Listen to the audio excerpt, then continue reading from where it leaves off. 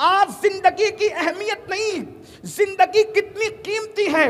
ज़िंदगी का सरमाया कितना कीमती है? अंदाज़ा फरमाए, अल्लाह अकबर, ज़िंदगी इतनी अहम है। अल्लाह अल्लाह, कि अगर कोई इंसान के मरने का खतरा है तो ओलमा फरमाते हैं कि नमाज़ तोड़ करके उसकी जान को बचा लिया जाए। देखिए, इंसान की ज़िंदगी कितनी कीमती है। और याद रखें, इंसान नमाज़ क्यों पढ़ रहा है? ज़िंदा है तो नमाज़ पढ़ रहा है। इंसान उम्र क्यों कर रहा है?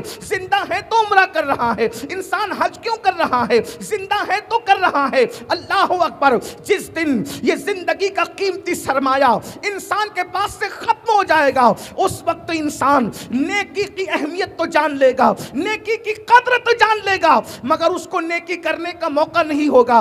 याद रखना, मरने के बाद इंसान दो रिकत नमाज़ की तमन्ना करेगा। अल्लाह अकबर, रब की बारगाह में अर्ज़ करेगा, मुझे मौका दे दिया जाए ताकि मैं दो रिकत नमाज़ पढ़ लूँ। दुनिया में लौट कर, दुनिया में जाकर मगर उसको मौका नहीं मिलेगा। मेरी कौम के जवानों, कितना खूबसूरत सरमाया है, जिसे ज़िंदगी कहते हैं, जिसे हयात कहते हैं। अल्लाह अकबर, सोचो तो सही, वो अल्लाह, वो जब्बादो करीम, वो हर नेमत को बार बार देता है। मगर वो जब्बादो करीम ने कानून बना दिया कि दुनिया में एक मरतबा भेजेंगे, दुनिया की ज़िंदगी एक मरतबा अता करेंगे। दोबारा किसी को नहीं देंगे। ये दुनिया में पहली और आखिरी मर्तबा आए हो।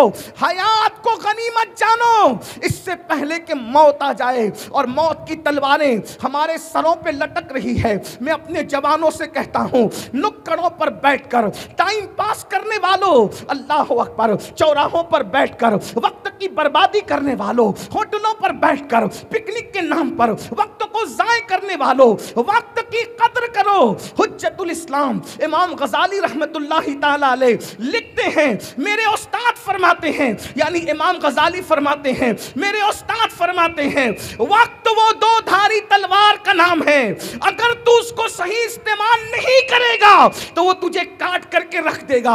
अल्लाह अकबर। इमाम राज़ी रहमतुल्लाह अलैह फरमाते हैं मेरे उस्ताद ने कहा आपके उस्ताद फरमाते हैं कि सूरतुल असर की तफसीर मैंने बर्फ़ बेचने वाले को देख करके समझी। वो किस तरह से बर्फ़ बेचने वाला उसको नुकसान के लिए कुछ करना नहीं पड़ता।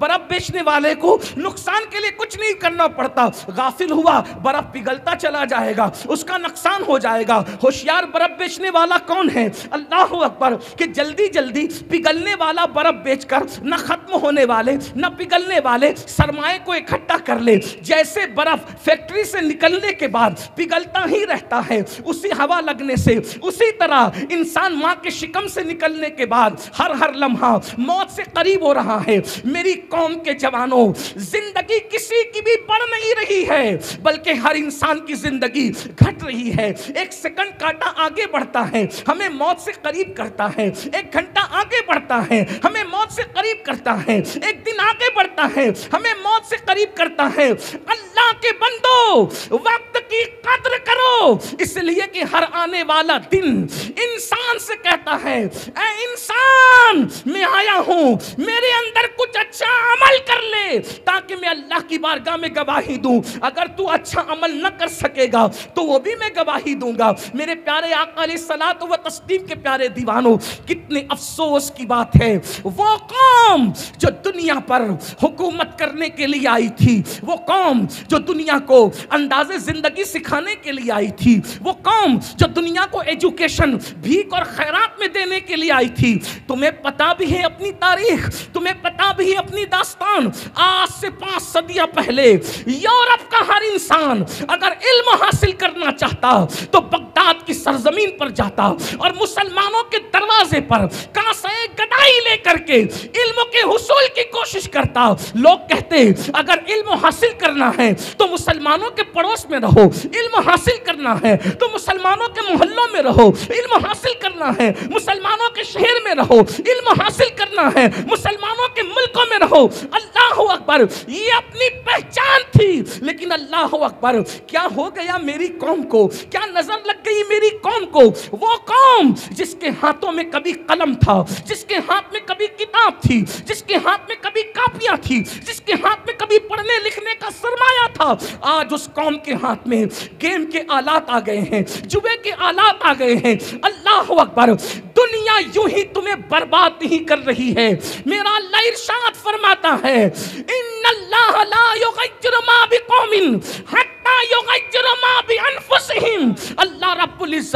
उस वक्त तक किसी कौम की हालत को नहीं बदलता जब तक वो कौम खुद अपने हालात को तब्दील न करे। आज मुसलमानों को देखना हो तो देख लो या तो वो गुनाह कर रहे होंगे या तो वो गीबत कर रहे होंगे या तो वो गेम खेल रहे होंगे या तो वो औरतों पे बदनजरी कर रहे होंगे। अभी मुफ्ती साहब फरमा रहे थे कुरान का मुसलमान क्या है? लेकिन कुरान क्या कहता है? सच्चे मुसलमानों को देखो तो गेम खेलते हुए नहीं सच्चे मोमिनों को देखो तो जुआ खेलते हुए नहीं सच्चे मोमिनों को देखो कबूतरबाजी करते हुए नहीं। सच्चे मोमिनों को देखो कुत्तों को बहलाते नहीं। सच्चे मोमिनों को देखो किसी पे जुल्म करते नहीं। मोमिन की पहचान क्या है?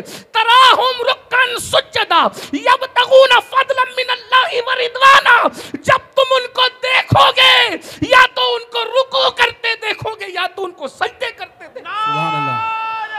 जब तक मुसलमान रुको में रहा सजदे में रहा। दुनिया गुलाम बन करके उसके पीछे पीछे चलती रही। ज़िंदगी को गनीमत जानो। बहुत जल्द एक दिन ये ज़िंदगी का खूबसूरत सिलसिला मौत की लटकती हुई तलवार काट देगी। बेशक। मेरा माल मेरी दुकान मेरा मकान मेरा कारोबार एक बात अर्ज़ करता हूँ। बहुत खूबसूरत सी बात। एक बुज़ुर्ग ने लिखी उसको सुन ले। ये दुनिया में अपना कुछ नहीं है। बेशक हुजूर गौसे पाक शेख अब्दुल कादिर जिलानी रदी अल्लाह ताला फरमाते हैं जो तू खा के हजम कर ले वो तेरा है। जो तू पहन कर फाड़ दे वो तेरा है। और जो तू अच्छा अमल आखिरत के लिए भेज दे वो तेरा है। तीन चीज़ के अलावा कुछ तेरा नहीं है। और इंसान डूब गया दुनिया में। आखिरत को फरामोश कर गया। एक मर्तबा का वाक्य एक बुज़ुर्ग लिखते हैं दो भाई आपस में ज़मीन के लिए लड़ रहे थे। जरा तवज्जो कर। जी जी। ज़िंदगी की कद्र नहीं करोगे अच्छे अमाल नहीं करोगे तो क्या होगा अंदाज़ा करें। दो भाई लड़ रहे हैं ये मेरी ज़मीन ये तेरी ज़मीन ये इसकी ज़मीन ये उसकी ज़मीन। ऐसे में उन्होंने क्या देखा? एक टूटे हुए कटोरे के चंद टुकड़े हैं। मिट्टी का कटोरा है उसके टूटे हुए चंद टुकड़े हैं। उससे आवाज़ आई ए ज़मीन के लिए लड़ने वालों ए दुनिया के लिए लड़ने वालों अल्लाह अल्लाह। एक दूसरे को अपनी बात सुनाने वालों जरा मेरी भी सुन लो। जब टूटे हुए कटोरे से मिट्टी के प्याले से आवाज़ आई तो दोनों अलर्ट हो गए अटेंशन हो गए मुतवज्जे हो गए क्या? कि टूटा हुआ कटोरा बोल रहा है। जब मुतवजे हुए तो उस उस टूटे हुए प्याले से आवाज़ आई। ए खूबसूरत चेहरे वाले जवानों ए अपने हुस्न पे इतराने वाले जवानों अपनी आँखों पर गुरूर और करने वाले जवानों अपने खूबसूरत जिस्म पर इतराने वाले जवानों अल्लाह अल्लाह। अपनी दौलत पर इतराने वाले भूल कर अल्लाह रब्बुल इज़्ज़त के पैगाम को पीठ के पीछे डालकर खुदा के गजब और उसकी अजाब चैलेंज करने वाले जवानों तवज्जो के साथ सुनो। अल्लाह अकबर इतनी मोहब्बत के साथ आए हो। अगर इतनी मोहब्बत के साथ सुनकर अमल कर लो तो मैं समझता हूँ कि इनकलाब के लिए इतने ही लोग काफ़ी हैं। लेकिन तवज्जो फरमाएँ अल्लाह अकबर टूटे हुए प्याले से आवाज़ आती है मेरी भी तो सुन लो। अब उसको मैं अपने लबो लहजे में यूँ उन्वान दे देता हूँ कि टूटे हुए प्याले की सदा या टूटे हुए प्याले की आवाज़, दोनों भाई अपना झगड़ा छोड़कर उसकी तरफ़ मुतवज्जे हुए। तो टूटे हुए प्याले ने कहा, जानते हो, फुला बादशाह का नाम सुना है? फुला बादशाह का नाम सुना है? इतना सुनना था। दोनों ने कहा, वो तो बरसों बीत गए, दुनिया से चला गया। उसका नाम है, उसके महल के खंडरात हैं, लेकिन उसका तो इंतकाल हो गया और उसको तो बहुत अरसा बीता। तो एक गमगीन सी आवाज़ आई, वही बादशाह की मिट्टी में हूँ। उसी बादशाह की मिट्टी में हूँ। तो दोनों हैरान हो गए ये मिट्टी उस बादशाह की कैसे हो सकती है?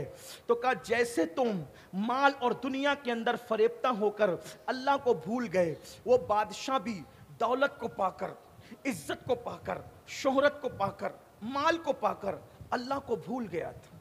वो जुल्म करने लगा। याद रखना कुफ्र करने वाले को मोहलत मिल सकती है। जुल्म करने वाले को कभी मोहलत नहीं मिल सकती। अल्लाह अल्लाह अल्लाह क्या बात है। दुनिया को बता दो। कुफ्र वालों की हुकूमतें तो दिनों तक चलती है मगर जुल्म वालों की हुकूमतें बहुत दिन तक नहीं चला करती। बेशक बेशक। अगर कोई हाकिम है अपने घर में बीवी का और वो बीवी पे जुल्म कर रहा है बहुत जल्द उसका मज़ा चखेगा। वो बच्चों पे जुल्म कर रहा है बहुत जल्द मज़ा चखेगा। वो पड़ोसियों पे जुल्म कर रहे हैं। बहुत जल्द मज़ा चखेगा। अब सुनो और गौर से सुनो। जब दुश्मनों पे जुल्म करने वाला बर्बाद होता है तो जो खुद पे जुल्म करे उससे बड़ा जालिम कौन हो सकता है। जो दूसरों पे जुल्म करे उसको खुदा मोहलत नहीं देता। जो अपनी जान पे जुल्म करे उसको खुदा मोहलत कैसे दे सकता है? अल्लाह अकबर। अंदाज़ा फरमाए। आप कहेंगे कि अपने आप पे जुल्म का मतलब क्या? तो कुरान कहता है वलौ अन्नहुम जो अपनी जानों पे जुल्म करे तो पता चला जानों पे जुल्म का मतलब क्या है? जानों पे जुल्म का मतलब यह है कि इंसान गुनाह करके अल्लाह को नाराज़ करे। ये अपने आप पे जुल्म है। क्यों? दूसरे पे जुल्म करेगा तो मारेगा। दूसरे पे जुल्म करेगा तो काटेगा। दूसरे पे जुल्म करेगा तो पैसा छीनेगा। दूसरे पे जुल्म करेगा तो हस्त- तलफी करेगा। लेकिन जब गुनाह करेगा तो अपने आप को जहन्नम का मुसाफिर बनाएगा। अपने। आप को जहन्नम का ईंधन बनाएगा। याद रखना छीना हुआ पैसा वापस हो सकता है। छीना हुआ पैसा वापस हो सकता है। मारने के बाद माफ़ी तलाफी हो सकती है लेकिन गुनाह करके आपने आप को जहन्नमी बना लिया। इसका हल क्या है? अपने आप पे जुल्म कर रहा है मुसलमान। तो वो बादशाह की मिट्टी बिखरी हुई मिट्टी से उस कटोरे से टूटे हुए कटोरे से आवाज़ आती है कि वही बादशाह की मैं मिट्टी हूँ। कैसे? कि अल्लाह को वो भूल गया। और जब अल्लाह को भूल गया तो फिर अल्लाह ने उसको गफलत में मौत अता की। वो मर गया और मरने के बाद उसको दफन कर दिया गया। सदियों में नीचे की मिट्टी ऊपर आई। सदियों में नीचे की मिट्टी ऊपर आई और उस मिट्टी को क्या अंजाम से गुजरना पड़ा? उस पर लोगों ने पाखाना किए उस पर लोगों ने पेशाब किए। अल्लाह को भूलने वालों! अल्लाह न करे अपने साथ भी ये हो सकता है कि अपनी बिखरी हुई मिट्टी पे भी लोग पाखाना कर सकते हैं गंदगी कर सकते हैं पेशाब कर सकते हैं बकरियाँ लीद कर सकती है कुत्ते पेशाब कर सकते हैं। और याद रखना मिट्टी मिट्टी में मिलने से एहसासात खत्म नहीं होते। आका सलाम ने फरमाया, जिस चीज़ से जिंदे को तकलीफ़ पहुँचती है, उसी चीज़ से मुर्दे को भी तकलीफ़ पहुँचती है। थोड़ा तस्वुर में लाओ थोड़ा तसव्वुर में लाओ। नरम नरम गद्दों पे लेट कर जिना की फ़िल्में देखने वालों, जरा तस्वुर में लाओ। क्रिकेट के नाम पर जुआ खेलने वालों, जरा तस्वुर में लाओ। बहनों का हक दबाने वालों, जरा तसव्वुर में लाओ। कानों में ईयरफोन लगाकर गाने सुनने वालों। मरना तो है जब अपनी मिट्टी पे कुत्ते पे पेशाब करेंगे। क्या हो? क्या होगा? जब अपनी मिट्टी पे सुअर पेशाब करेंगे, अल्लाह ना करे अल्लाह की अमान माजल्ला सुम्मा माजल्ला मुमकिन है। वो गयूर खुदा, गैरत वाला खुदा, वो जिसको जो चाहे अजाब दे। उसको अजाब से कोई रोक नहीं सकता। और उसकी शान गैरत ये है, अगर वो चाहे तो इसमें आज़म देकर, इसमें आज़म छीन ले। और जिसकी जबान पे इसमें आज़म जारी होता है फिर उसकी जबान को कुत्ते की तरह लटका दे। फिर कयामत तक कुरान में उसका ज़िक्र भी बयान करके उसको जलील और रुस्वा कर दे। है ना? कितना मुकर्रब था वो जिसे बला में बाउर कहते हैं। फरिश्ते जिस इसमें आज़म को पढ़ के आसमानों पे जाते हैं और जिस इसमें आज़म को पढ़ के जमीनों पे आते हैं वो इसमें आज़म किसको याद था? बलआम बाऊर को याद था। है ना?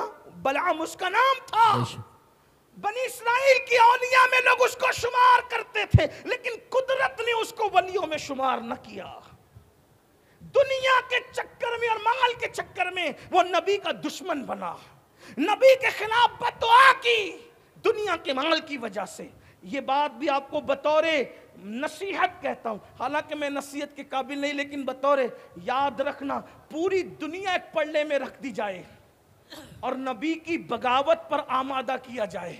जी जी। तो नबी तो नबी है कभी नबी की नालैन के खिलाफ भी बोलने की कोशिश मत करना। जी बेशक बेशक। इसलिए कि जो नबी की नालैन की गुस्ताखी करे फतावा आलमगीरी के मुसन्निफिन उसके लिए हुक्म सादिर करते हैं कि जिसने नालैन मुस्तफ़ा सल्लल्लाहु अलैहि वसल्लम की गुस्ताखी की वो काफिर हो गए। जब नबी की नालैन इंसान को कुफर तक ले जाती नबी की नालैन की गुस्ताखी तो अंदाज़ा फरमाए जो नबी की तौहीन करे उसका अंजाम क्या हो? जी अंदाज़ा फरमाए इसलिए उसका अंजाम क्या हुआ? तो अर्ज़ ये कर रहा था अल्लाह को भूलने वालों जरा तसव्वुर करो। गुनाह करके। जराइम क्या नहीं कर रहे हो? सफ़ेद कपड़े पहनकर दाढ़ियाँ रखकर टोपियाँ पहनकर और हाजी नमाजी और फुला फुला साहब के टाइटलों के साथ अगर इंसानों में मुअज्जज कहलाते हो तो मखलूक में इज्जतदार बनने की कोई हैसियत नहीं है। जी बेशक। असल इज़्ज़त खालिक के नज़दीक है खालिक के नज़दीक बेशक बेशक। बेशुमार लोग वो हैं। जिनको मखलूक बैठने के लिए जगह भी नहीं देती। जो बीमार पड़ जाए तो उनकी इयादत भी नहीं की जाती। जो मर जाए तो उनके जनाजे में लोग शिरकत भी नहीं करते। वो आ जाए तो उनको भगा दिया जाता है। लेकिन अल्लाह के नज़दीक उनकी इज़्ज़त वो है। अगर किसी बात कसम को पूरा कर सुभान अल्लाह नारे तकबीर सिर्फ़ अल्लाह के नज़दीक इससे इज़्ज़त हासिल करते हैं। आज हम इंसान अगर देख रहा है तो खड़े होके पानी नहीं पीते। सीसीटीवी कैमरे की जद में है तो गुटखा नहीं थूकते। सीसीटीवी कैमरे की जद में है तो पान नहीं थूकते। सीसीटीवी कैमरे की जद से डरने वालों अल्लाह की निगाहें हमें देख रही है। फिर मुसलमान जिना कैसे कर रहा है? मुसलमान शराब कैसे पी रहा है? मुसलमान जुआ कैसे खेल रहा है? तो थोड़ी देर तसव्वुर करो। मेरी गुफ्तगु, थोड़ी सी आज समझने से मुतालिक है। थोड़ा एहसास कर लीजिए। अल्लाह अकबर, अल्लाह को नाराज़ करके मरे, मिट्टी मिट्टी में मिल गई। अल्लाह न करे, कुत्ते पेशाब कर रहे हैं, सुअर पेशाब कर रहा है, बकरियाँ पेशाब कर रही है, इंसान पाखाना कर रहे हैं। बताओ, क्या बनेगा मुसलमानों? और याद रखना, मेरे अल्लाह की खुफिया तदबीर से डरो। मेरे अल्लाह की खुफिया तदबीर से बचो। वो जिसके साथ जो चाहे सलूक कर सकता है। अल्लाह अकबर, मेरे भाइयों, जरा सोचो तो सही। इतनी मेहनत करते हो, जिसम को इतना संवारते हो, जिसम को इतना बचाते हो, एक दिन ये जिस्म मर जाएगा। जरा तस्वुर करो, पाप करते हो, जराइम करते हो। इस जिस्म में कीड़े पड़ेंगे। पड़ने तो है ना, इस जिस्म में कीड़े पड़ेंगे। इस जिस्म को कबर की मिट्टी खाएगी, इस जिस्म को कबर के कीड़े खाएँगे। कभी सोचा, अल्लाह अल्लाह, मच्छर जिसम से गुजर जाए, क्या कैफियत होती है? मक्खी जिसम पर चले, क्या हाल होता है? छिपकली को देख ले बैतुल खला में, इंसान की क्या कैफियत होती है, मुसलमानों, वो दिन क्या दिन होगा? जब कब्र की तन्हाई होगी, कब्र की तारीकी होगी, अल्लाह अकबर कब्र का अंधेरा होगा, एक हाथ को दूसरा हाथ सुझाई नहीं देगा। उस वक्त कितने गम होंगे, इतने दुख होंगे। याद रखना, उस वक्त किसी को खान साहब होना, शेख साहब होना, मिर्ज़ा साहब होना, फुला साहब होना, काम नहीं आएगा। न खित्ते काम आएँगे, न कबीले काम आएँगे, न ज़मीन की डिग्रियाँ काम आएगी, कुछ काम नहीं आएगा। अल्लाह अकबर, उस वक्त इंसान के हाथ भी अपने ना होंगे। इंसान के पैर भी अपने ना होंगे इंसान की जबान भी अपनी ना होगी। हाय क्या बेकसी होगी? हाय क्या बेबसी होगी? मेरे आका फरमा रहे हैं हयात का कबला मौतिक अपनी ज़िंदगी को मौत से पहले गनीमत जान लो। उस टूटे हुए प्याले से आवाज़ आती है काश कोई इबरत हासिल कर ले काश किसी के कानों तक ये इबरत की बात पहुँच जाए। अगर माए और बहनें मौजूद है मैं उन बहनों से भी कहता हूँ जेवरात की दीवानी मेरी बहन सोने पर गोल्ड पर अपना सब कुछ कुर्बान करने वाली मेरी बहन हर शादी में नए कपड़े का मुतालबा करने वाली मेरी बहन, घंटों टीवी का मुँह पकड़कर, सीरियलों को देखकर, अपने बच्चों की तरबियत न करने वाली मेरी बहन, एक दिन तेरा भी तो जनाजा उठना है, एक दिन तूने भी तो दुनिया से जाना है। बताओ, ऐ मेरी कौम की बहन, बताओ। अल्लाह अकबर, तेरा शोहर तो किसी फैक्ट्री का मालिक हो सकता है, तेरा शोहर तो चंद, जो वो किसी दुकान का मालिक हो सकता है, रुपयों का मालिक हो सकता है, लेकिन अल्लाह अल्लाह, मैंने तो उन औरतों की जिंदगियों को भी पढ़ा है, जिन औरतों को हल्दी और चंदन से रोज़ाना नहलाया जाता था। मेरी बहन, तू जेवरात की मोहब्बत में अल्लाह को भूल गई। आज मर्द भी तो चंद लोग नमाज़ पढ़ लेते हैं, औरतें तो बिल्कुल नमाज़ नहीं पढ़ती। तरावी का मामला तो औरतों से बिल्कुल खत्म हो चुका है। औरतें ये भी नहीं समझती कि उन पर तरावी सुन्नत है। जैसे मर्दों पे सुन्नत है, वैसे औरतों पे भी सुन्नत है। लेकिन अल्लाह अकबर, औरतें नहीं करती। इन्हें जेवर चाहिए, इन्हें फ़िल्म चाहिए, इन्हें सीरियल चाहिए। दुकान पे पहुँचे तो जाकर के बड़े फख्र से कहती है, जरा वो कपड़े निकाल के दे जो फुला अदाकारा ने पहने थे। ऐ मेरी बहन, अदाकारा तुझे जन्नत में न ले जाएगी, वो तो खुद जहन्नम की कुतिया बनेगी। मेरी बहन, सोच तो सही, जो स्क्रीन पर आकर के जिना करती है, जो कैमरों के सामने आकर, जो अदाकाराएँ जिना करती है। उसको तूने आइडियल बना लिया। नहीं नहीं, मेरी बहन, याद रखो, दुनिया दुनिया दुनिया में गुम रहने वालों, मेरे अल्लाह का ऐलान है। इन नमाम वालकुम व औलादकुम फितना, कि तुम्हारे माल और तुम्हारी औलाद तुम्हारी आजमाइश है। इस दुनिया में गुम ना हो जाना। इबरत के लिए सुन लो। जिन औरतों को हल्दी और चंदन और दूध से रोज़ाना नहलाया जाता था बाल बाल मोती पिरोए जाते थे, आज उन औरतों की कब्रों का निशान भी मौजूद नहीं है। मगर वो सैयदाए कायनात, वो मखदूम कायनात, महीना महीना भर जिसके घर में चूल्हा नहीं जलता था, जुमा का खुतबा मुकम्मल नहीं करता जब का खतीब उनकी बारगाह में खिराज अकीदत पेश नहीं अल्लाह। आप बताएँ। आप बताएँ। इसलिए याद रखो। दुनिया ही सब कुछ नहीं है बात मुकम्मल कर रहा हूँ। उस टूटे हुए मिट्टी के कटोरे से आवाज़ आई। मेरी मिट्टी नीचे से ऊपर हुई। लोगों ने पेशाब किया पाखाने किए। फिर क्या हुआ? एक कुम्हार उस मिट्टी के कुछ हिस्से को उठा कर ले गया। एक कुम्हार मिट्टी के कुछ हिस्से को उठा के ले गया। उसको सड़ाया। गलाया गलाजत मिलाई और उसका अपने हाथों से कटोरा बनाया। और कटोरा बनाने के बाद उसको भट्टी में तपाया। हाय हाय हाय अल्लाह की शान दे। आखिरत में जो इबरतनाक अंजाम है वो तो होना ही है। उसका तो कोई तस्वुर नहीं कर सकता। दुनिया में भी क्या अंजाम है? मगरूरों का खुदा के नाफरमानों का खुदा के सरकशों का खुदा के बाकियों का क्या अंजाम है? अल्लाह अकबर। तो मेरी मिट्टी को उठा करके कटोरा बनाया। कटोरे को आग में तपाया गया और उसके बाद बाज़ार में बेचा गया। किसको? इतनी बड़ी हुकूमत और सल्तनत के मालिक को। घमंड था, गुरूर था, तकब्बुर था, लोगों पे जुल्म करता था, खुदा को भूल गया था। अल्लाह अकबर। वो बाज़ार में बेची गई। उसके बाद उसमें खाना पीना लोग करते रहे। अचानक कनीज ने पैर मारा। और वो टुकड़े टुकड़े हो गया कटोरा जो मेरी मिट्टी से बना था। हाय हाय। और जब वो टुकड़े हुआ तो फिर मुझे ला करके यहाँ फेंक दिया गया। और फिर उससे आवाज़ आई, अल्लाह के बंदो, मैं इतनी बड़ी सल्तनत पे बागी हो गया था। थोड़ी सी ज़मीन पे क्यों लड़ रहे हो? अल्लाह की नाफरमानी क्यों कर रहे हो? छोड़ो। जैसे मैंने दुनिया छोड़ दी। मेरा हाल देखो, मेरा अंजाम देखो। एक बार मौलाए कायना सैयद नाली मुर्तज़ा के हाथ में खूबसूरत कटोरा लाया गया। खूबसूरत कटोरा देख के रो पड़े। किसी ने कहा, अमीरुल मोमिनीन, आप खूबसूरत कटोरा देख के रो रहे हैं। फरमाया, कितने खूबसूरत चेहरों की मिट्टी इसमें मिली होगी। तब कहीं जा करके ये खूबसूरत कटोरा बना है। मेरे भाइयों, हयात को गनीमत जानो। मौत से पहले एक जबता पेश कर दूँ। हम लोग व्हाट्सएप लेके बैठते एक एक दो दो घंटा लग जाता देखिए व्हाट्सएप यूज़ कीजिए, मैं मना नहीं कर रहा। अहले सुन्नत के या वाइजीन या मुफक्रीन या दानिश्वरान कौम। हम हालात से टकराने की बात कभी नहीं करते। व्हाट्सएप यूज़ कीजिए, इस्तेमाल कीजिए। ज़रूरत के मुताबिक। फ़ोन का इस्तेमाल कीजिए, ज़रूरत के मुताबिक। आप इतना सोचो, हम व्हाट्सएप के बगैर, हम व्हाट्सएप के बगैर ज़िंदा रह सकते हैं। फेसबुक के बगैर ज़िंदा रह सकते मोबाइल के बगैर ज़िंदा रह सकते बोलो, खाने के बगैर हम ज़िंदा रह सकते हैं? नहीं रह सकते। जिस खाने के बगैर और जिस पीने के बगैर हम ज़िंदा नहीं रह सकते उस खाने और पीने के बारे में भी कुरान क्या कहता है? कुलू वशरबू वला तुसरिफ। खाओ और पियो मगर हद से मत पड़ो जी बेशक। तो जो खाना ज़िंदगी के लिए ज़रूरी है उसमें हद से बढ़ने से मना कर दिया गया। जो पीना ज़िंदगी के लिए ज़रूरी है उसको हद से बढ़ने, उसमें हद से बढ़ने के लिए मना कर दिया गया। तो ये तो ज़िंदगी के लिए ज़रूरी है भी नहीं।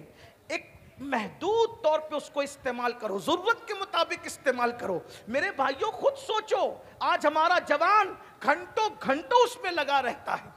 तो अगर हम तीन मिनट, तवज्जो करना, तीन मिनट तीन मिनट अगर हम अपनी ज़िंदगी के व्हाट्सएप से, फजूल बातों से बचा लेते हैं तो आप तीन मिनट के अंदर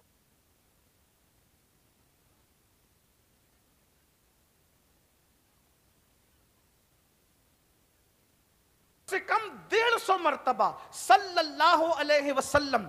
ये मुख्तसर दरूज शरीफ डेढ़ मिनट में तीन मिनट में डेढ़ सौ मरतबा पढ़ सकते हैं। और अगर सुबहान अल्लाह पढ़ना चाहें तो कम से कम तीन मिनट में सौ बार आप सुबहान अल्लाह पढ़ सकते हैं। याद रखिए जब मरने वाले मरेंगे तो मरने के बाद हर इंसान पछताएगा। मेरे भाइयों मैं बात ये वो एक समेटते हुए आगे की रिवायत पढ़ना चाहता था लेकिन बात समेटते हुए आजकल क्या अपना दिमाग क्या बना है? माइंड सेट है। कब्र में हुजूर आएँगे सल्लल्लाहु अलैहि वसल्लम। तवज्जो करना में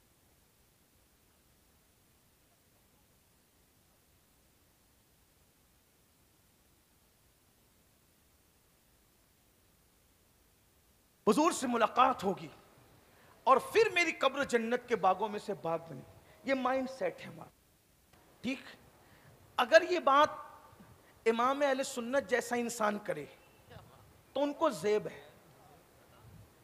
उस्ताद जमन जैसा बंदा करे, उसको जेब आज़म और मुहदस आज़म जैसे लोग करें, उनको जेबा देता है। मेरे और आप जैसे इंसान को तो इसी पे सोचना चाहिए और वो आए। और मुझे और आपको देखें और अगर खुश ही हो जाए बस। पर मुस्कुरा दे तो बेड़ा पार के जवाब आसान। मगर हुसूर हमारी कब्र हो जाए ये इम्तिहान ज़्यादा मुश्किल है।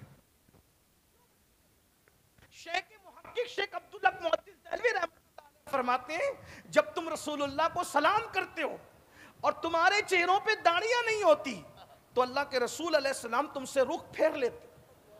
तवज्जो करना जरा, मेरी बात पे गौर करना। अल्लाह के रसूल सलाम जिन चेहरों पे दाढ़ियाँ नहीं है, उनसे रुख फेर लेते हैं। फिर वो हदीस एक तवील कहीं उसके अंदर रिवायतें मौजूद है, जिसने सोने की अंगूठी पहनी, उससे रुख फेर लिया। जिसने ऊँचा मकान बनाया उससे रुख फेर लिया जिसके घर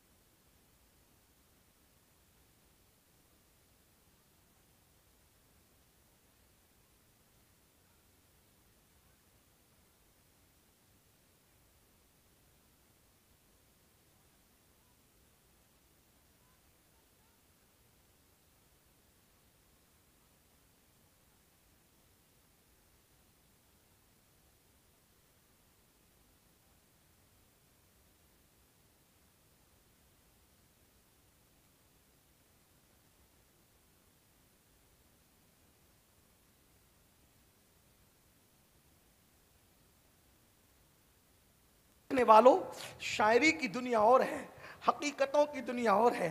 कब्र के फैसले मेरे और आपकी मर्ज़ी के मुताबिक नहीं होने। कब्र के फैसले, हमारी अपनी तबीयतों के मुताबिक नहीं होने। जरा तवज्जो करो मेरे भाइयों, दुनिया के इम्तिहान में एक बार नाकाम हो गए, फिर कामयाबी का चांस है। लेकिन आखिरत के इम्तिहान में एक बार का नाकाम हो गए, फिर कामयाबी का कोई चांस नहीं है। तवज्जो कर लो, सोच लो।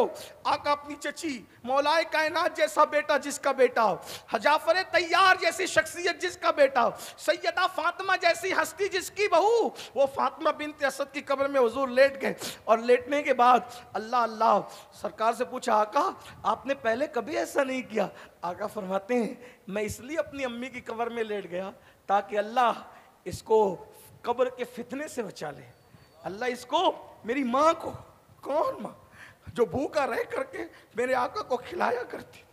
आका ने कहा, ये मेरी माँ है, मेरी माँ की बजाय खातिमुल विलायत सैयदुस सादात, जिसका बेटा हो। तवज्जो करें। अभी यहाँ मेरे भाई पीरी मुरीदी की निस्बत की बात नहीं हो रही। हुजूर की चची है हुजूर की अम्मी है मौलाए कायनात की अम्मी है सैयदा फातिमा की अल्लाह अकबर सांस है। और आका फरमाने में कब्र में इसलिए लेट गया ताकि मेरी ये अम्मी कब्र के आजमाइश से बच जाए। तो किसी को ताजीब हो या रसूल अल्लाह ये आपकी अम्मी जान फातिमा बिन असद के बारे में आप ये कह रहे हैं कि कब्र की आजमाइश से बच जाए? तो आका ने तालीम उम्मत के लिए कहा ये हमारा अकीदा है। हुजूर की निस्बतें हर मकाम पर काम आएगी हमारा नहीं लेकिन तालीम उम्मत के लिए कहा क्या कहा ये तो फातिमा बिनते असद है। मैं अपने बेटे इब्राहिम इब्ने मोहम्मद के लिए भी ये कहता हूँ। आप गौर कर जो मोहम्मद इब्ने इब्राहिम थे ना हुजूर के शहजादे पहली बात तो वो जवान ही नहीं हुए। वो जवानी की उम्र को नहीं पहुँचे। बुज़ुर्गों ने फरमाया अगर वो जवान होते अगर वो जवान होते तो हुजूर के बाद वो नबी होते। लेकिन चूँकि खत्म नबूवत का अकीदा मुसलम है इसलिए कुदरत ने उनको जवान होने ही नहीं दिया। जैसे फरमाया कि मेरे बाद अगर कोई नबी होता तो उमर इब्ने खत्ताब होते मगर नबूवत खत्म हो चुकी। अल्लाह अकबर। तो आका सलाम फरमाते और उनका विसाल बिल्कुल शीर खारगी के आलम में, बचपने के आलम में हो गया। आका फरमाते हैं, मैं कब्र के फितने के मामले में अपने बेटे के बारे में भी कुछ नहीं कहता। गौर फरमाएँ, जो छः महीने या आठ महीने की उम्र में दूध पीते की उम्र में दुनिया से चले जाएँ, हुजूर तालीम उम्मत के लिए फरमाए, तालीम उम्मत के लिए कि मैं अपनी माँ फातिमा बिन असद तो क्या अपने बेटे इब्राहिम इबन मोहम्मद के लिए भी ऐसा ना कहता। मेरे भाइयों, सोचो ना, अपनी रातें कैसे गुजरती है, अपना दिन कैसे गुजरता है, अपने हालात क्या हैं? अल्लाह के लिए अपने आप पर रहम कर लो और गुफ्तगु को आखिरी पहलू देते हुए बस इतना अर्ज़ करूँगा। आज दुनिया आज दुनिया बस एंड करते, आज दुनिया हमें आवारा बनाना चाहती है। आज दुनिया हमें जो है वो माजल्ला गुनाहगार बनाना चाहती है, मुजरिम बनाना चाहती है। इसलिए मेरी कौम के, मेरी कौम के जवानों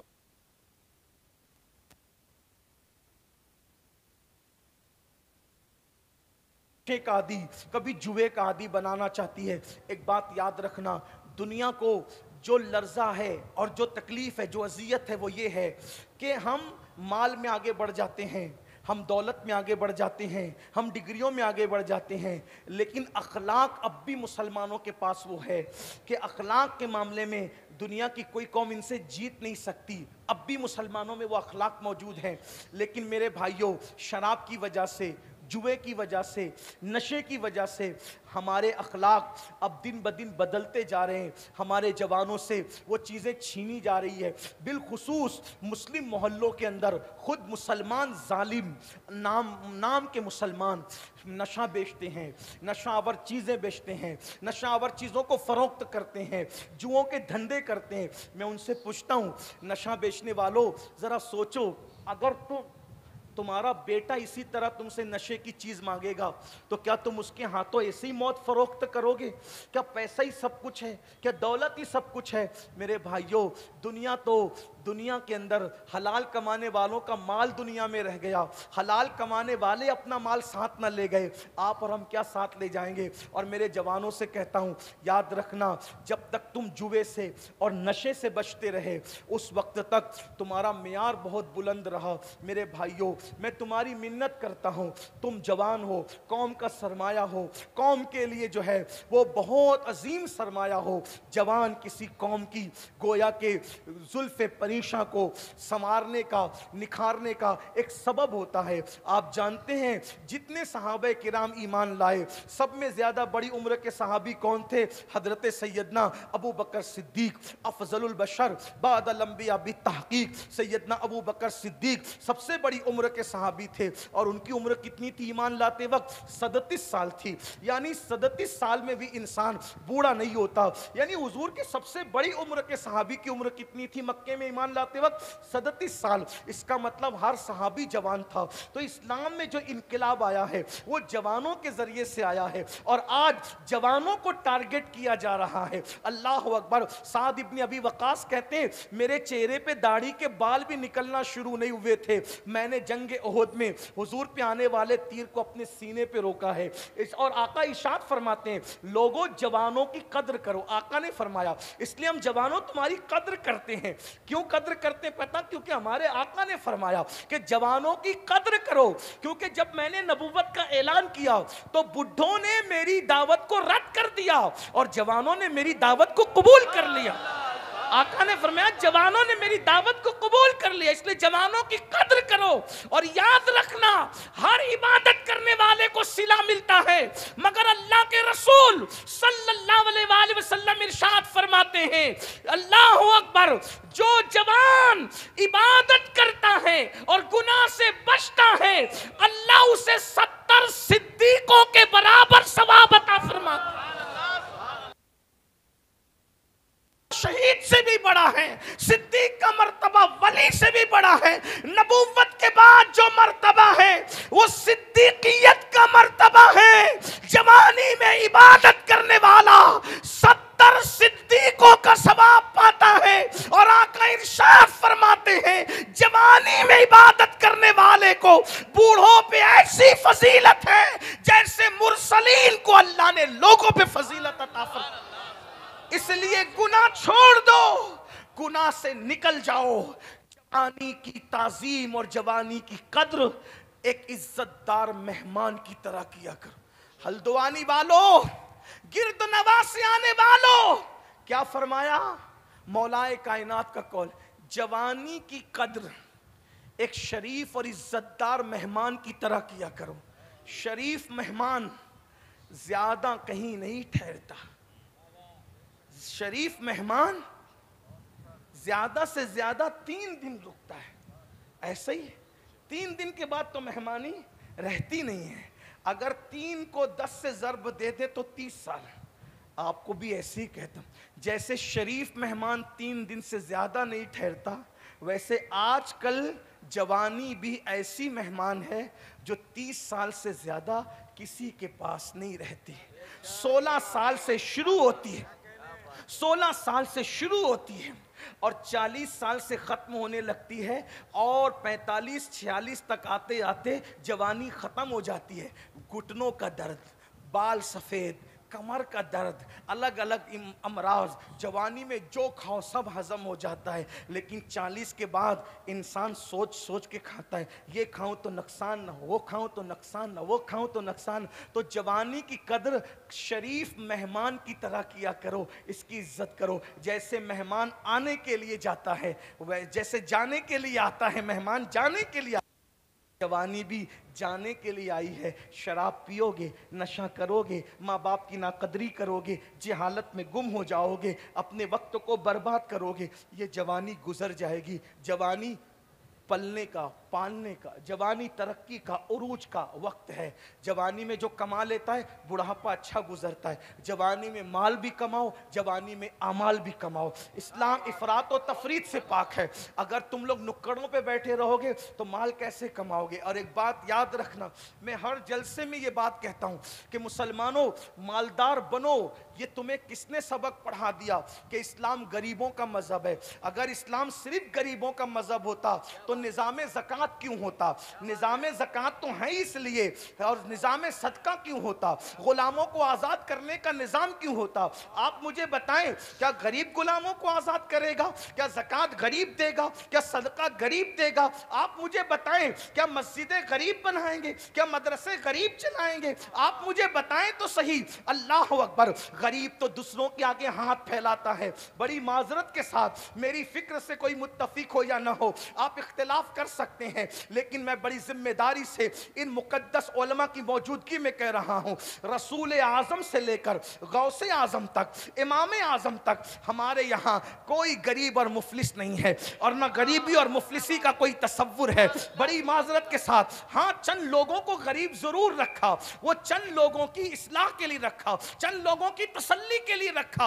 अल्लाह अकबर, इसलिए याद रखना, जक़ात का तस्वुर हमारे यहाँ है। है किसी और कौम में जक़ात का तस्वुर अल्लाह अकबर, के साल में एक मरतबा, ढाई परसेंट निकालो। फितरे का तस्वुर हमारे यहाँ है। अल्लाह अकबर, गुलामों को आज़ाद करने का तस्वुर हमारे यहाँ है। बड़ी माजरत के साथ, इसलिए मालदार बनो, मेहनत करो और कोशिश करो। और जहाँ तक अल्लाह के रसूल की बात है, मैं बार बार लोगों को याद दहानी करा रहा हूँ कि अगर लोगों के कंधों से कंधा मिला के खड़े होना है, बाजू से बाजू मिला के खड़े होना है, और इस्लाम को और मुसलमानों को जिल्लत से बचाना है। तो इतना कमाओ कि जिस कीमत का लिबास लोग घर से पहन के निकलते हैं, उससे कीमती तुम पहन करके निकलो, ताकि तुम्हें कोई हिकारत की नज़र से न देख सके। हुजूर सलाम ने मक्के में पेवन का लिबास पहना, लेकिन जब मदीने मुनव्वरा में बड़े बड़े मगरूर सरदार मिलने के लिए आते तो हुजूर उनसे ज़्यादा कीमती जुब्बे पहनकर बैठा करते थे। वो जो तोहफे लेकर आते, उससे कीमती तोहफे लेकर बैठा करते थे। सरदारों के पास तो कपड़े थे, मगर यहाँ लिबास भी था, हुस्न भी था, रूहानियत भी थी। आने वाला आता तो मुतासिर होके जाता और अपना दिल कुर्बान करके जाता। इसलिए याद रखना, हालात के तहत बदलना होगा, लेकिन कब तुम मालदार बनोगे? तीन तीन बजे तक इंटरनेट पे जिना की फ़िल्में देखोगे और दोपहर में बारह बारह बजे तक सो के उठोगे तो क्या तरक्की करोगे? स्कूल में जाके लड़कियों को पटाओगे तो क्या डिग्रियाँ हासिल करो? ये हंसने की बात नहीं है। ओ जालिमो, जैसे बिल्ली की नीयत छिछड़े में है, वैसे तुमने अपना किरदार बना लिया। जुमले तलख लगे तो माफ़ करना। एक दौर वो था जब कोई इंसान अपनी बेटी की हिफाजत चाहता। तो मुसलमान के घर में रख करके जाता। अपने रिश्तेदारों के घर में नहीं मुसलमानों के घर में कि ये मुसलमान है ये सब कुछ कर सकता है। किसी की बेटी पर कभी पाप की नज़र नहीं उठा सकता। ये अपना किरदार था। ये अपना कि, कहाँ गया वो किरदार? कहाँ गया? वो तो किस्से पारी ना होकर के रह गया। तो मेरी गुजारिश है रात को जल्दी सोया करो सुबह को जल्दी उठा करो। लोगों की सुबह सूरज निकलने के बाद होती है। हमारी सुबह सूरज निकलने से पहले होती है। सूरज निकलने से बहुत पहले अपनी सुबह होती जब अपनी दुकान सूरज निकलने से पहले खुलेगी तो जो सूरज निकलने के बाद आएगा तो बोलो तरक्की किसको ज़्यादा मिलेगी? फिर उसके बाद हर कौम कोई ना कोई छुट्टी का दिन मनाती है। कोई सैटरडे मनाती है कोई संडे मनाती है। हमारे यहाँ कोई दिन छुट्टी का नहीं। हमारे यहाँ कोई दिन छुट्टी का नहीं। कोई दिन छुट्टी का नहीं है। बेशक। हमारे लिए जो सबसे कीमती दिन है वो जुमा है। ईदुल मोमिनीन उसमें भी छुट्टी नहीं। क्या कहा?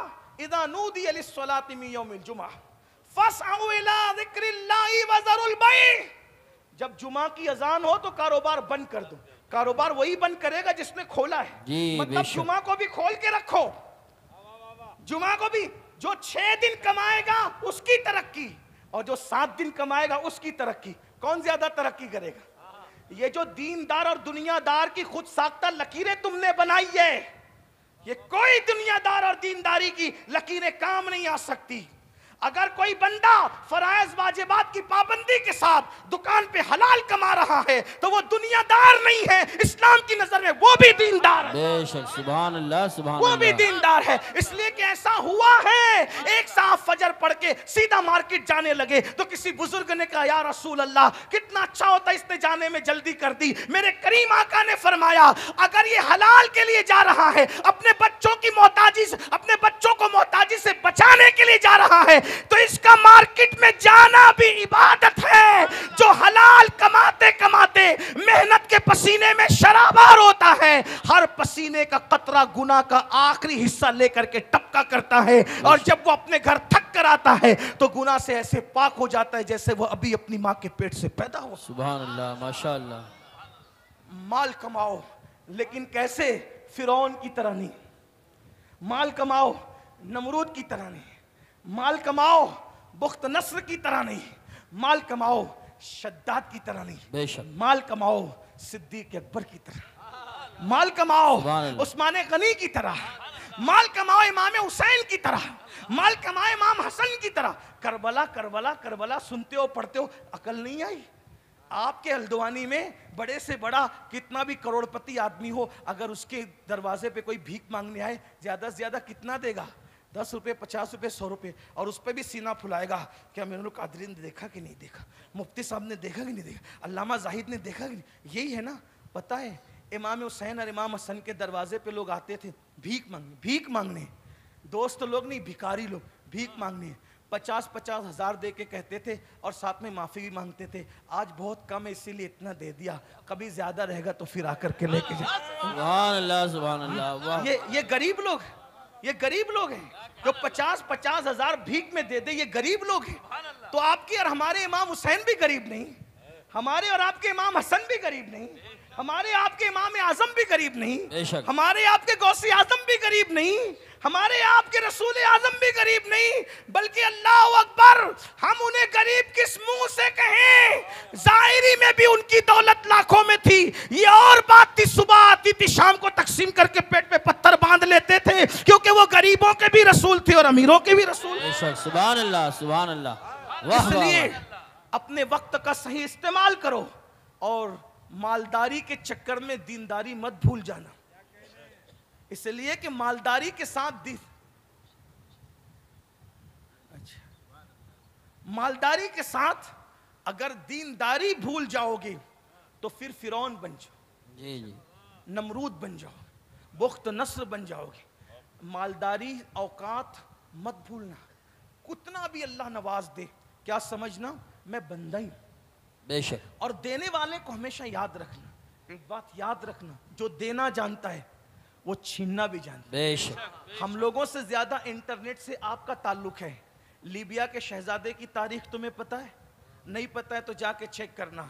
सऊदी के बादशाह से उसके दोस्ताना ताल्लुक मिस्र के शाहों से उसके दोस्ताना ताल्लुक बरतानिया के सुदूर से उसके दोस्ताना ताल्लुक उसका हाल ये था वो इत्र खरीदता नहीं था। लीबिया का जो शहजादा था वो इत्र खरीदता नहीं था। चंद कंपनियाँ मखसूस थी जो सिर्फ़ उसी के लिए इत्र बनाती थी। सिर्फ़ उसी के लिए। हुजूर आज़म के चौचवी रहमतुल्लाह लिखते हैं हर जवाल राह कमालो हर जवाल राह कमाल हर कमाले राह जवालो हर जवाल राह कमाल हर उरूज को जवाल है हर उरूज को जवाल है। और हर जवाल को उरूज है। लेकिन ये भी याद रखना, उरूज को जवाल है। खुलूस को कभी जवाल नहीं। बेशक सुबहान अल्लाह सुबहान अल्लाह उरूज वाले जवाल पे पहुँचते हैं। खुलूस वाले यानी जो अल्लाह का बन के रहते हैं उनको कभी जवाल नहीं आता। फिर वो ज़मीन में भी चले जाते हैं तो उनको वरफान अल्लाह का ज़िक्र का सदका मिलता है। वलाखिरतु खैरुल्लाह का मिनल उला का सदका मिलता है। देखा गरीब नवाज़ को 900 साल होने को करीब आ रहे हैं लेकिन हर दिन मेरे ख्वाजा की तरक्की का दिन है। कल जितने लोग डंके बजाते थे उससे ज़्यादा गौ से पाक के जितने डंके कल बजते थे उससे ज़्यादा आज है। वारिस से पाक के डंके कल जितने बजते थे उससे ज़्यादा आज है। इमाम अहले सुन्नत के डंके कल जितने बजते थे उससे ज़्यादा आ जाए तारीख को सल्तनत मखदूम सिमना अली रमा के डंके जितने कल बजते थे उससे ज़्यादा आ जाए बेशक। सरकार साबिर पाक के डंके कल किसने सोचा था कि जंगल में एक मुरीद करने वाले के नाम के भी चर्चे होंगे? अल्लाह अकबर जिसकी कब्र पर 12 साल तक किसी को आने की इजाज़त भी ना होगी वहाँ भी मेले लगेंगे। अल्लाह अल्लाह जिसने एक ही मुरीद करके कह दिया कि तू भी चला जा। गौर तो फरमाए एक ही? मुरीद वाह, कह वाह, करके वाह, कहा कि तू भी चला जा और जब तक मैं ना जाऊँ तूने नहीं आना। फरमाए। अल्लाह अल्लाह। अंदाज है? तू भी चला जा जब तक मैं ना जाऊँ तू नहीं आना। और बता दिया कि जो उसके मुखलिसीन होते हैं उनको डंके के लिए बंदों की ज़रूरत नहीं होती वो तो यार मना करके। सुभान अल्लाह सुभान दुनिया में इज्जतें हासिल किया करते हैं। बेशक, बेशक। तो मैं बात समेट रहा था लेकिन कान में उनवानात की बरसात होती जा रही है। तो मैं दो बातें अर्ज़ कर दूँ सुनना चाहे तो अर्ज़ कर दूँ मुझे कहा जाए। इरशाद। हाँ लेकिन मेरे लिए कोई मुश्किल नहीं है कि अगर आप इस तरह फरमाइश करते रहेंगे तो मैं शुक्र के तौर पे कह रहा हूँ कि मैं कभी बोलता नहीं मैंने आज तक बोला नहीं हमेशा मैं बुलवाया गया हूँ। अल्हम्दुलिल्लाह। और गज़ल पढ़ने वाले को दुश्वारी हो सकती है उनवाने गज़ल की फरमाइश पर। इनशाला मुझे दुश्वारी है। मैं आपको कहता रहूँगा अगर आप लेकिन आप थक न जाएँ इसका मुझे खौफ है। आप पक न जाएँ इसका मुझे खौफ है। तो मैं अपनी बात को समेटने लगा हूँ लेकिन तवज्जो करना मालदार बनो। बहुत मालदार तुम्हें बनना है। और मौजूदा हालात में टकराव की कोशिश मत करो किसी से भी। बेशक। आपके पड़ोस में कोई रहता हो किसी से न टकराओ। मुस्लिम रहता है न टकराओ। अगर मुस्लिम नहीं है तो भी मत टकराओ। क्योंकि हमारे नबी ने हमें पड़ोसियों का हक बताया। बेशक। और मुसलमान हो या मुसलमान नहीं हो हमें पड़ोसी के हक को अदा हाँ ये ज़रूर है। अगर मुसलमान है तो डबल हक है उसका। एक पड़ोसी होने का एक मुसलमान होने का। और अगर मुसलमान नहीं है तो कम से कम एक हक है। ईसाई हो यहूदी हो कोई हो उसका हक है कि वो आपका पड़ोसी है। और कैसा पड़ोसी का हक? अगर बात आपने मुझे दिया है उन्वान तो एक ही बात सुनाता हूँ। पड़ोसी का हक क्या है?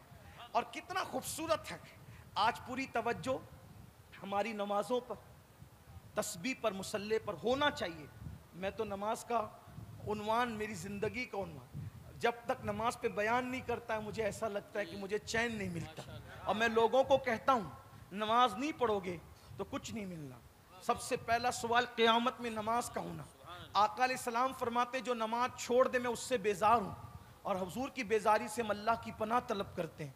लेकिन आज पूरी तवज्जो इसी पर है। बहन मर रही है, मरने दो। माँ बाप बर्बाद हो होने आजकल तो हाल ही है। अभी मैं अल्लामा साहब के यहाँ गया था, रुद्रपुर गया अल्लामा जाहिद रजा साहब के, हजूर मुफ्ती आज़म रहमत के मुरीदों में से। इनके वालिद आला हज़रत के मुरीदों में बताया खुशी हुई। यानी कि एक खान इमाम के दौर से इनका ताल्लुक बरेली शरीफ से माशाल्लाह। अल्लाह ताला हम सबको इमाम अहल सुन्नत के सच्चे मसलक पर और हमारी नस्लों को भी चलने की तोफ़ी आमीन। अभी अल्लामा मुफ्ती साहब ने इशारा किया नई नई फ़िक्र लेकर के लोग आ रहे हैं। मेरी बस इतनी गुजारिश है कोई भी अच्छे से अच्छा मुकर आए पीर आए शहज़ादा आए, आलिम आए, मुफ्ती आए तो हमने करना क्या है? हमने करना यह कोई गिनती पढ़ता है? गिनती पड़ता है, एक के बाद तीन तीन के बाद चार चार के बाद छः कोई गिनती पढ़ता है? तो आपका कोई उसको कबूल नहीं करता। मुफ्ती साहब पढ़ें, अल्लामा साहब पढ़ें, अमीनुल कादरी पढ़ें, हज़रत पढ़ें, कोई कबूल करेगा? नहीं कबूल करेगा। क्यों? आप कहेंगे, मौलवी साहब, गिनती का उसूल है। तो एक के बाद तीन नहीं आता, दो आता है। उसूल है ना तो आप गिनती के मामले में मौलाना की गिनती को भी उसूल पे परखते हैं।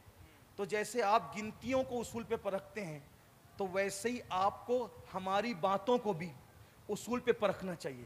जी जी बेशक हमारी बातों के मुताबिक बुज़ुर्गों को ढालने की कोशिश न करें। बुज़ुर्गों की नज़रियात और बातों के सामने चेक करें आने वाले मुकर्र को खतीब को पीर को। अगर उसकी बोली बुज़ुर्गों की बोली से मिलती है किसी नस्ल अल्लाह किसी नस्ल का हो किसी किसी खत्ते का हो किसी कबीले का हो किसी सिलसिले का हो। रंग उसका कैसा ही हो टोपी उसकी कैसी हो जुब्बा पहना हुआ ना हो और कुर्ते फटे हुए जैसा हो अगर उसकी बोली बुज़ुर्गों की बोली से मिलती है समझ जाना ये अपना है। और अगर कितना भी खूबसूरत लिबास हो कितना भी खूबसूरत तमामा हो कितनी भी अच्छी तकरीर हो अगर बुज़ुर्गों की बोली से उसकी बोली कुछ नहीं लगती है तो उसको आपने रिजेक्ट कर देना है। बेशक बहुत खूब। वाह वाह वाह वाह। ख्याल रख क्योंकि हमें हमारे इमाम ने उसूल दे दिया तेरे गुलामों का तेरे गुलामों का नक्शे कदम राय खुदा। वो क्या बहक सके?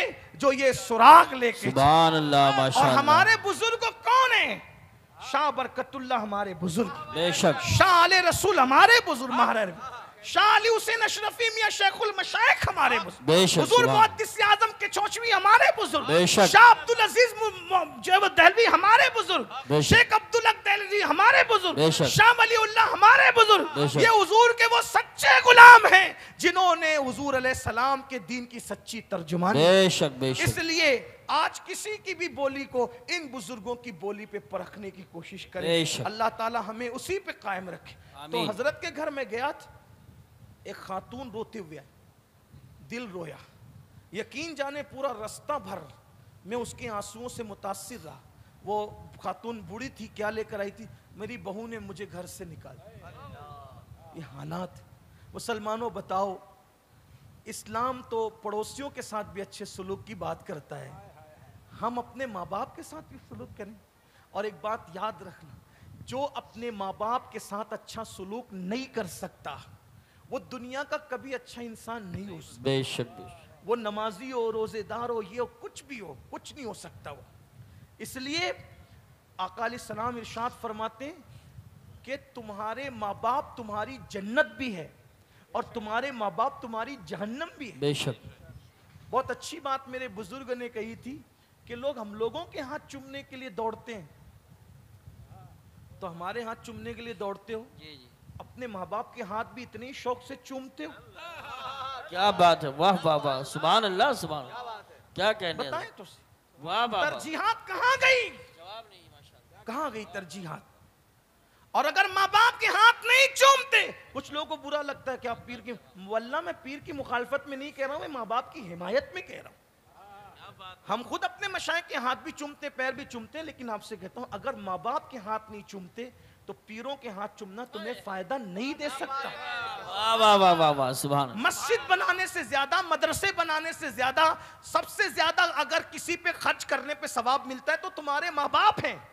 इनसे ज़्यादा खर्च करना, इनके ऊपर खर्च करने से ज़्यादा सवाब कहीं नहीं। मेरे आका फरमाते हैं, अगर तुम अपनी उम्र को लंबी करना चाहते हो तो अपने माँ बाप के साथ और रिश्तेदारों के साथ उसने सुलूक करो।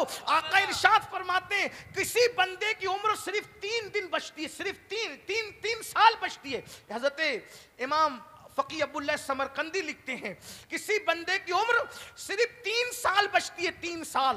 और अल्लाह तीन साल से उसकी उम्र को तीस साल तक बढ़ा देता है। तो सहाबे किराम ने अर्ज़ की या रसूल अल्लाह ये अचानक तीन साल की उम्र तीस साल कैसे बढ़ जाती है? तो आका फरमाते हैं जब बंदा अपने रिश्तेदारों के साथ उसने सुलूक करता है तो उसकी बरकत से अल्लाह तीन साल को तीस साल में बढ़ा देता है।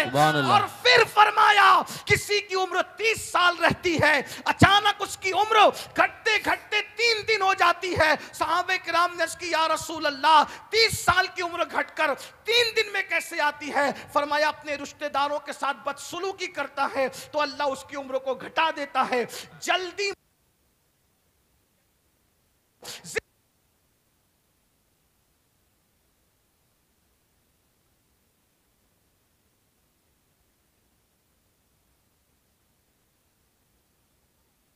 बाप के लिए दुआ करता है।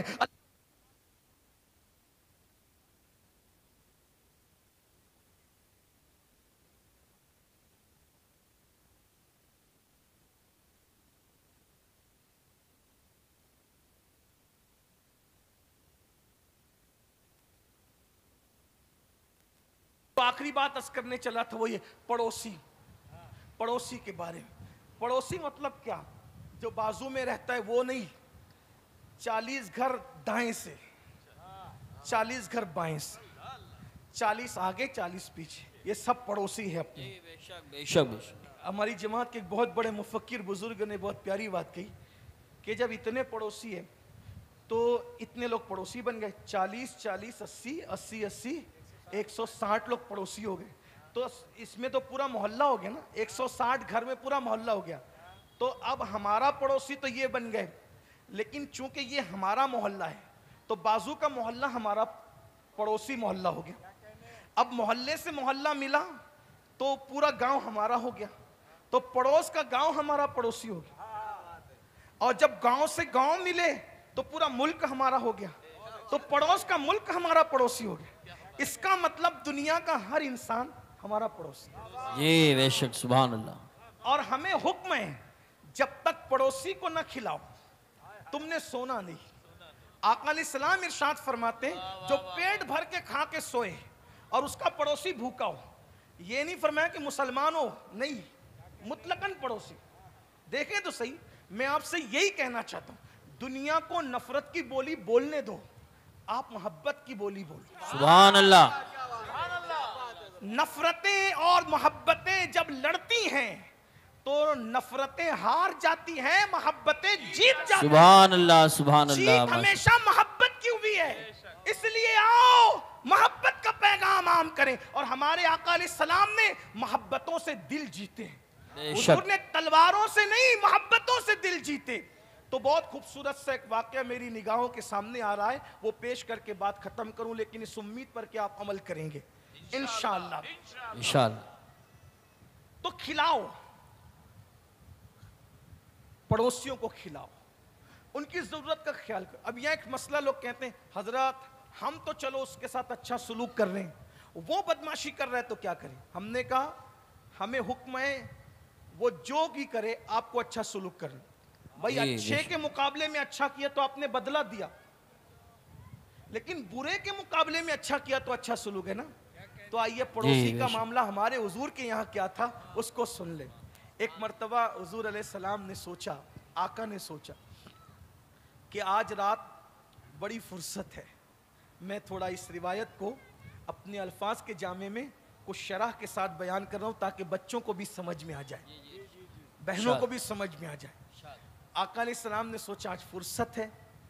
आज मसरूफियत बज़ाहिर जो आमतौर पे हुजूर सलाम को रहती थी वो नहीं है।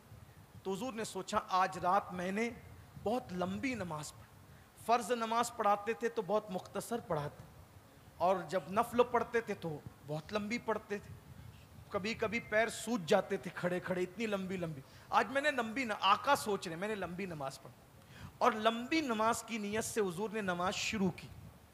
जैसे नमाज़ शुरू की, कान में पड़ोस से एक बच्चे के रोने की आवाज़ आई। गौर करें, किसकी नमाज़ है?